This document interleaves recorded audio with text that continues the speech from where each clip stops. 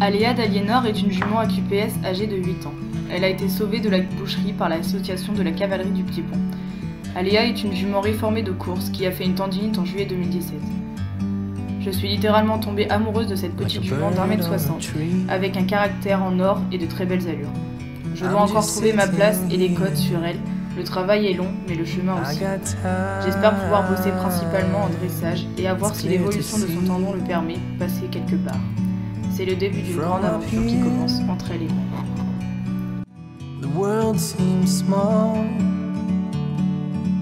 We can sit together. It's so beautiful, you and me.